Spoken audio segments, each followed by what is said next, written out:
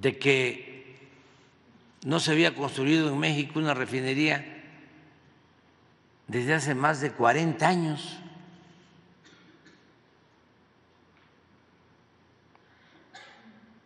Y que cuando intentó Calderón hacer una refinería, no terminaron ni siquiera la barda.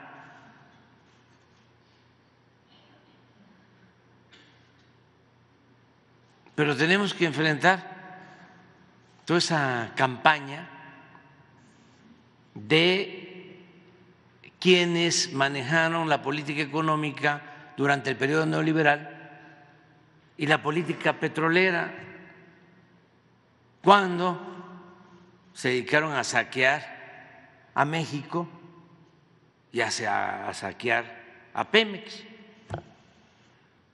Cuando se construyó la refinería de Dos Bocas, casi en los cinco años, 40 mil empleos.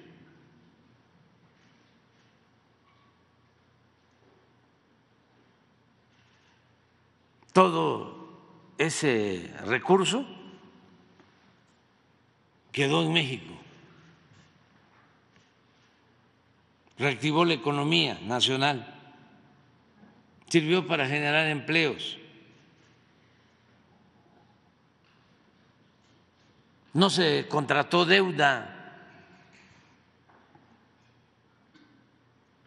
fue dinero del presupuesto que antes se lo robaban a los que defiende el reforma.